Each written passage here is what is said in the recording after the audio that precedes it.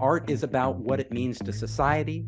Art is it's about something new. It's about us reflecting upon society, discovering ourselves both at an individual level and at a cultural level. So these things aren't really art, right? They're not really art, but they are a part of society and they are changing how we communicate. Today's guest is the chairman and CEO of Founders Space, a global innovation hub for entrepreneurs, corporations, and investors. Please welcome to the Inspiration Place, Steve Hoffman. Well, hey there, Steve. Welcome to the show. Hey there, Miriam. It's fantastic to be here. Well, I'm so excited to have you. I do have your book, Five Forces. And we were saying right before you hit record, we had done a connection call about what you could possibly talk about with my audience. And you said, well, maybe AI. And I go, well, maybe. And since we spoke, suddenly it's like that's all anyone wants to talk about. Would you agree with that? Absolutely. Everybody's talking about art and AI. And this is something I've been saying for years. When I was saying it early on, and I wrote a book about it, The Five Forces, which is pretty recent, but ahead of the explosion, which just happened with DALL-E and you know, OpenAI and everything people are doing. But I have been a long believer because I understand technology. I'm an engineer by training, like yourself. I'm an engineer. Um, and I understood early on that machines could create art this is a, both a philosophical discussion we can have as well as a technical discussion and a social one. You know, what is art? But I could see early examples, especially in the areas. Now we're seeing it in the visual arts, but early on we could see it in the areas of music. This has been around a while, where literally computers could create music that were indistinguishable to the listener from human created music, and they could do it through algorithms. And if something is indistinguishable, does that mean it's art or is it not art, right? If it was created by a machine or created by a human. But honestly, to the listener, and they don't know, it's art, right? Because they are just experiencing the music or the visuals for what they are. When they find out it's a machine, does it change how they view the art? Of course. And what we're seeing now in society is absolutely amazing. It's going to fundamentally transform what art is, how we create art, what entertainment is, our entire society and communication. Yeah. So there's a couple of tools that I've been looking at. Some of them I've been very impressed with, some of them not so impressed. Can I be controversial and talk about the one I'm not? Yes, with? absolutely. Okay. All right. So there's this app, and a lot of artists have been playing with it. It's Lensa AI. So oh, yeah. That's the one for those who aren't sure. If you've been on Instagram for any length of time in t- the end of 2022, people were sharing all kinds of selfies with that app. To me, they all look the same. I was like, oh, it's another Lensa selfie. Even before I would read the description. Oh, yeah. You can spot them a, a, million miles away. yeah. So that's not impressive to me. You know, like it's like, okay. And then the other thing that I saw that was similar was Pantone for their color of the year. So, uh, for, again, for those who don't know, every year Pantone kind of does a color prediction, and it's not so much a crystal ball thing. They're kind of looking at the zeitgeist and seeing what is starting to trend and they pick up on what's already becoming a trend and what you'll see more of a trend. And they said the color of 2023 is magenta. They're doing a play on words with the Magentaverse are you familiar with what it is i'm talking about? So pantone actually yep. used artificial intelligence to generate what they thought this Magentaverse looked like. And again, it was all all purple. Like I said, the purple hair, of course, magenta, and it's all purple. Everything's purple. Well, of course, the color is magenta, but to me, it did look, it did look very much like that same kind of Lensa computer generated art. So oh, yeah, and, and a lot of this is just trendy stuff. It, you know, everybody want you know, it's a meme, right? So uh, people are hopping on the bandwagon they see this tool they're making a picture of themselves they're sharing it out there. Why? Because you know everybody's doing it. And a lot of people let's face it there's good art created by humans and then there's bad art created by people. A lot of people create bad art. There's machines the same thing. And yes. honestly if you studied art history i know that art isn't just about what you see. Art is about what it means to society art is it's about something new. It's about us reflecting upon society discovering ourselves both at an individual level and at a cultural level. So these things aren't really art right? They're not really art but they are a part of society um, and they are changing how we communicate. Like when people are jumping on Lensa and they're making these pictures of themselves, even though they all start to look the same if you've seen enough of them, it's still a new way of communicating, a way that we didn't do before. And in that sense, it's interesting. In the sense of actually, is it going to be transformative art that gets you to look at the world in a different way? Probably not. Yeah. So I don't find it threatening to me yes. as an artist. And one of the things that I found particularly interesting is is when now we talk about the other hot tool, which is OpenAI or Chat GPT. And this is an artificial intelligence tool where Google is completely freaked out about this. So, like, they are on red alert as they should be. So, again, for people who may not know what we're talking about, Steve does, but Steve, just so you know, I always have my listener right with us at the table. Yes and I'm always taking care of him and her. Okay. So uh, it's like the multi eyed creature who is with us. All right. So basically, if you wanted to search something on Google, and I'm going to give an example of something that came up last night in my artist incubator coaching program. One of the artists wanted to know where can I buy um, royalty free music? Mm-hmm let's ask Hal. So I call it Hal because that's the computer 2001 It's based. Oh, absolutely. Right. Okay. So let's ask Hal. So the thing is, when you go into Google and you say royalty free music sites, it's going to give you first a list of ads, links to their sponsored posts, and then it'll give you a list of sites that might mention what it is you're looking for. But you still have to click on each thing and find out what it is and if it's actually relevant. Relevant. Did I say that right? Relevant. Relevant. Relevant relevant. okay. So when you ask the OpenAI or ChatGPT, or as I'm going to say, Hal, when you ask Hal, it'll say, here are the six sites, and some of them are subscription based. I said, oh, thank you for that. Which ones are not subscription based? And then it tells me. So it's like saves me hundreds of out like wh- whatever the procrastinating learning rabbit hole I would have gone down in the past to click on all these links it just tells me. So Google is completely freaked out. They have a red alert on this because this technology is really going to hurt their business. So yeah? it's interesting. So Chat GTP is based on their GTP3 algorithm set and and it's been it's a deep learning algorithm that's been trained on a lot of data. They're coming out with gtp4 now so they're going to have a more advanced one that will that will blow this away. So yes google should be worried. Google has its own ai they're working on their own thing. They haven't released it to the public honestly. Uh, and google says this i believe them actually because it can be abused in a lot of ways. So uh, we are seeing that these chat algorithms, yes, they could do search. But one thing you have to recognize is I did some searches on there and it didn't do a good job. So you pointed out one where it did a good job. There's others where this OpenAI Chat GPT, which is a horrible name, so hard to. why, why is it called that? Do you know? It's GPT stands for it's a technical term about what they're doing and because they're engineers let's face it they didn't get words, they didn't get an NFT, artist to come up like with it you, you, you, can explain to someone what nft stands for and it still doesn't help them it know? doesn't help it won't it help won't you at all it's okay. just a technical term gpt and the point is um, I did a search and I asked it, you know, what are the top 20 venture capital firms in Silicon Valley? I was just curious what it would say. And it said, I cannot give you this data. Now, I don't know why it just couldn't do it. And I asked it a couple other specific things like that, and it couldn't give me the data. Now, the data is, I think, uh, it's roughly three years old that they trained it on. So it's not even current. Whereas Google is literally updating their database when you do a Google search, you know, every day it's being updated. So wow there's a difference here. Each one of these, Google is worried, but not. I think the press made a bigger deal out of it than it is. Google could roll this out tomorrow if they wanted to. They All could right. roll it out tomorrow.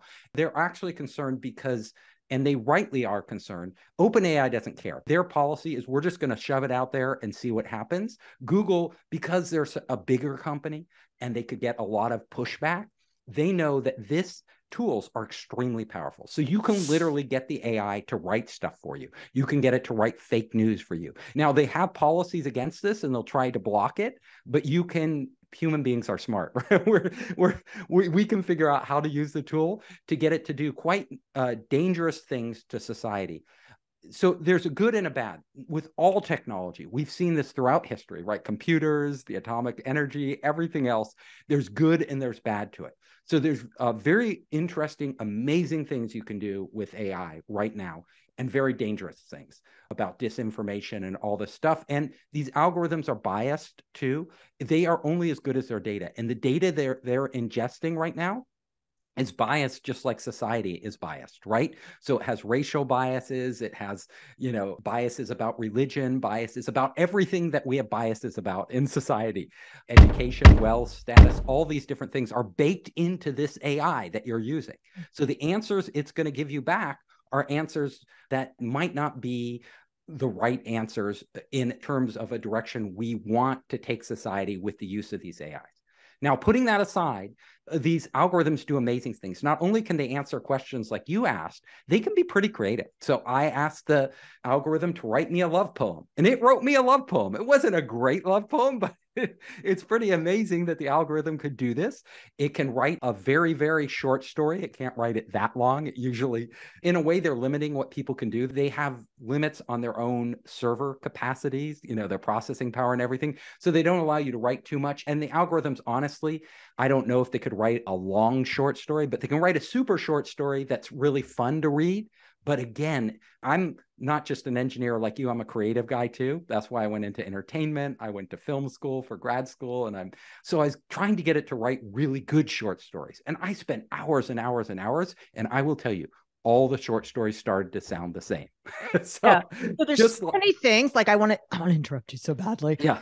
so first of all, to bring it back to our original conversation and keep it really yeah. cohesive about the yeah. art thing, what I had learned early on about the Chat GPT is it really can't give you opinions. Like I think the example I read is which is better, hot dogs or hamburgers, or they, it can't do that. And when you're asking what is art, art changes the way good art changes the way we think. And that starts with having an opinion about something. So there's right. You, that, art without opinions missing. Is, art without opinions is just a pretty picture, right? Exactly. so, then you have like that's why they all look the same with the purple hair and the purple universe, Magentaverse. It's like there's no so opinion there. This is where the question of can it create art or can't it is really important because what art is, it's a dialogue.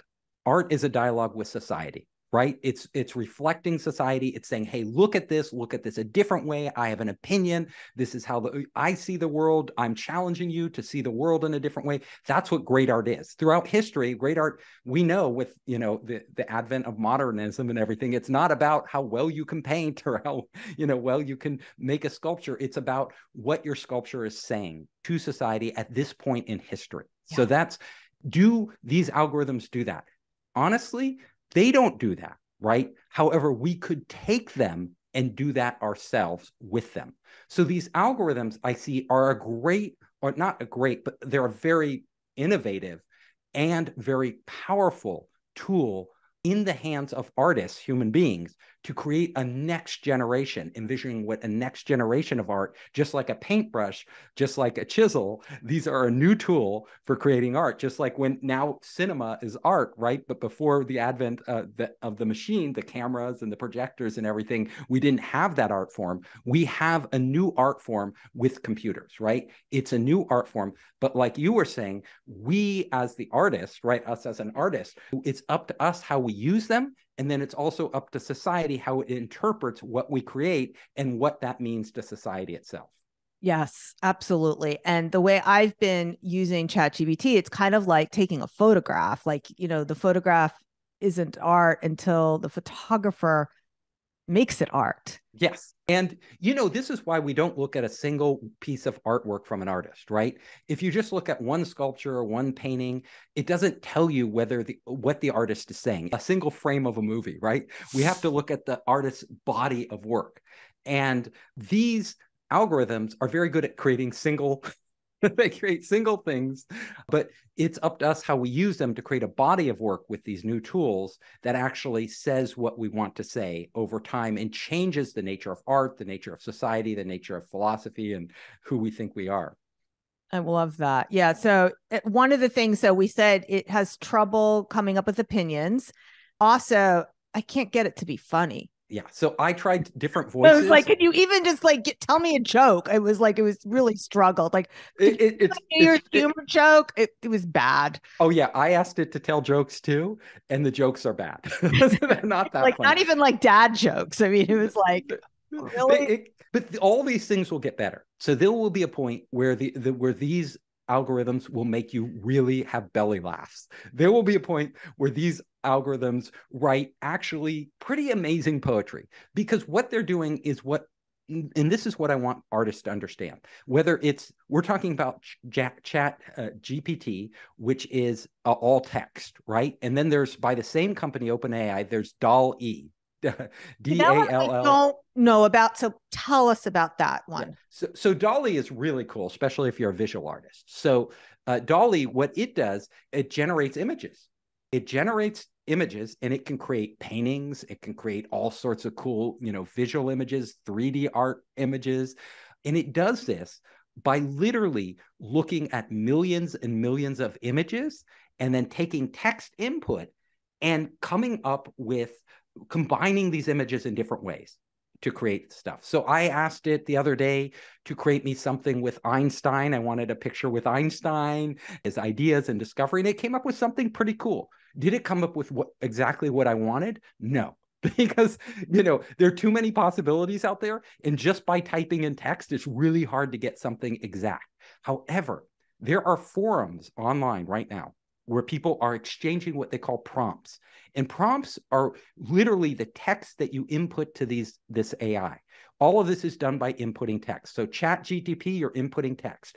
Even on the visual one, DALL-E, which is named after the artist Dalí, um, but in DALL-E, when you're inputting text, it's taking these text and then it's searching through its huge database of images and combining them in different ways to give you some output. If you have specific prompts that trigger certain styles of art, certain other images that prompts that reference other artists or other images in the past, then you can get much higher quality images and images that are much more visually appealing as well as closer to what you would imagine in your head, which is what you're trying to get out of the machine.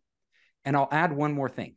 The really interesting thing about DALL-E of creating these AI generated images is that it not only does it from text, but it can also do it from other images. So you can literally upload images and it will combine these images and create new images out of whatever you upload. So you, Miriam, could upload a bunch of digital images of your paintings and have it create a new Miriam style painting that you could say, wow, here's a here's an That- art that, Cool. Like I can I can upload my watercolor portraits and then and upload a picture of me and say, okay, now paint me in my own style. exactly. And that's where it gets cool. it it gets cool, right? But Yeah. so can anybody else who has your pictures. so, like, literally, it's Yeah. not just you. you. You know, who has ownership over this? We have all these intellectual property Okay, issues. this is the elephant in the room. Is Yes. the IP question? Is like somebody can take my images without my permission and do that, right? Yeah. So then they create a totally new image, right? They create a new Miriam image in the Miriam style of art. Uh, your watercolors look just like or close enough to one of your watercolors that the average person wouldn't even know it wasn't you. But do they own it? Do you own it? Does the company OpenAI own it? Is it public domain? Who owns these things? We haven't resolved, the courts have not resolved this. There is actually no answer for this. And it's going to be very contentious because you can imagine with your own art or any of your listeners out there with their art, if somebody starts to mass produce art in their style and maybe sell it as NFTs or, you know, sell however they want to sell it, uh, do prints of it, you know, high quality prints, whose intellectual property is that? Right. Like um, make a painting in Andy Warhol style. I mean, does Andy Warhol Foundation, do they get a cut if I sell it? I, I don't know. And people people are doing that right now. I don't So think you, could- can copyright a style. Like if I were to go paint something in the style of without a computer, I think I'm allowed to do that. I need to discuss this with with Yeah, uh, and so this is one of the reasons Google lawyer. hasn't re- released this to the public mm. because Google has a lot more at stake to lose than an, a startup like OpenAI, which is just focused on doing this. To OpenAI, their whole business is this. Google has a much broader business, and it's a much bigger company. So you ask, like, why isn't Google doing this when they could do this? Because they have AI just as sophisticated. It's because there are all these unresolved issues that uh, could be quite costly. and you know lawsuits and all these different things we don't know uh, as a society what we'll accept. We don't know how to define ownership of these ai generated images that are derivatives of other images that have been uploaded and people's faces too. Like you can upload a person's face and create new faces that are partially based on your own face. Like who owns that new character right? Do you get royalties from it? Does i write about this in my book the five forces. This technology and i go further in the book. Like so i go way out into the future. Like will films be created this way? Like actors will they be licensing out their personalities and their faces. When we design a room with a set designer who the furniture is based on furniture designs that people did and wallpapers who owns this how does society treat it? Are we going to actually curb creativity by becoming too focused on the legalities of this? You know there's benefits to both. We've seen and i just want to say this is a really important question that we all need to consider. All of us could say especially any of those who are creative and artists and i consider myself both a technical guy but also creative like yourself my mom was an artist i'm totally into the arts like i grew up with art i thought i would become an artist i made games and i did all the animations for those so i'm really into this from the artist perspective also into it from a technical and business perspective, kind of combining those. And we as a society, we haven't figured out what to do with this. This mm. technology is so powerful and so transformative that literally we've seen on the web that by not restricting things by allowing people to share images you know on social networks and all these different ways and share content on youtube we allowed a creativity explosion right? An explosion of new ways for people to create. If we curb this AI and say, no, if you anything derived from something else, you're going to have to pay a royalty and we're going to have to track it or we're going to have to block it, then all of a sudden all these tools will go away. like they won't be able to exist. And really, as humanity, I don't think we can turn our back on this technology because uh, the technology has a lot of potential for really doing good and also taking us to a new level of discovery. Like I said, it's a tool, right? We want people to be able to use these tools because we don't know what amazing things we'll be able to create with them until we are allowed to try. Except I'm so worried about the children. The children the children. So it had caught my attention with Chat GPT because I wasn't really paying attention. Yes. There was an article in the New York Times, and it was basically, I think it was the Times, it might have been the journal, I don't remember, but basically saying how they used it to write a paper. oh, an essay, a school yeah. essay. Yeah, yeah. So the, re- the what caught my attention though was not that ability. It was like that was kind of like okay, yeah. I get that. Yeah. What impressed me though was that the paper was late, and the journalist had said that I had written an apology letter using Chat GPT. Yes, you could do this. Right. So that was what had got my attention. Was like, oh, all those weird customer service things that we're always getting. And then that's what led They're me written- down the rabbit hole. Okay, what else did I do with this? yeah. I was just amazed like it could help me with these nuanced it's, things. it's it's insane. See even the news you're reading now a lot of the news online about weather and finance especially is written by ai and you don't know it. Like you have no idea. You're written on on services like spotify and things like that they're actually so they don't have to pay royalties they are generating ai music and actually putting it out there you may be listening to some of this that is actually ai generated I mm-hmm. am listening to it. You know, I I subscribe to the service called Focus at Will, and it all sounds like computer generated. Yes, because they don't have to pay royalties. no, so it's like being. different modes, and one of them is the classical mode. And yes. my daughter, who is a classically trained cellist, like she went to conserve, like the real deal, went to a conservatory, and she's like, "Well, it sounds familiar, but I can't tell what it is." And I was like, oh, "Cause it's artificial intelligence, AI." So we will be seeing this in the background, and you're worried about the children. So let I'm, me. Wor- I'm worried about kids not developing the skills they need to use this properly as a tool. I know. So I want to take you back in time, Miriam. You know, remember when we were kids and everybody was worried about the calculator? like kids won't learn math. There's calculators out there. You know? They don't. They don't. They never- don't, and they don't know how to spell either. And penmanship, forget that. Like, yeah, and I- penmanship. But honestly, the kids will get by. you don't have to worry about the kid. This is it. Human beings will learn what they need to learn to function and, and get ahead in society. The ones who are given a, a good parenting and good education, they will learn what they need to learn. And what they don't need to learn, they don't care. Right. And honestly, and if they need to learn it at some future time, they'll learn it. We don't have to worry about that. This is maybe what we have to worry about. We have more we have to worry, worry about is cheating, right? Because yes. uh, kids yes. because kids are smart. if they can get an AI to write their essay, why not? Right? Then they don't have to write their essay. They don't have to stay up late and write their essay. Who, who wants to write an essay? If they can get an AI to get them into college, help, you know, tell them what they need to put down in their application and everything they need, they'll do it. So people, everybody is going to use these tools however they can, and the smarter they are, these uh, kids are, the more they're going to actually use these tools, right? the, the- the smarter true. kids Okay. are going to be the first ones to jump on these, figure out how to tweak them, and use them to their their maximum benefit. Just like You- you and I are doing right now, right? With with all these tools. You could call it cheating, but we all cheat, right? Every we society using technology and innovate. Every time you make an innovation, it's cheating, right? because you're doing things not the hard way. You're using technology to, to do it the short way and often do it better than people who spent a lot of time doing it the old way. So everybody is going to be cheating with this technology, but cheating is actually how we learn and grow and how we understand uh, to how business is done right every business wants to get ahead of its competitors so they're going to figure out how you were in hedge funds you know these hedge funds started using ai very early on and big data to actually cheat the stock market get ahead of uh, That's why they hired me. exactly out of mit I was I was in an AI lab. This is the dirty secret. So I was in like a, a very like this was infancy AI knowledge based Yes. expert systems. I was so bored. I was like, there's no way this is going to help the world. Where's the money? Right. where's the money I know. You we'll just have to wait. Street. yeah. So, uh, yeah, where, where, were we going with that? Anyway, this has been such an important conversation, Steve. Thank you so much for taking the time. I want to tell my listeners you want to go deeper, the five forces that change everything. It's an excellent book. I have it.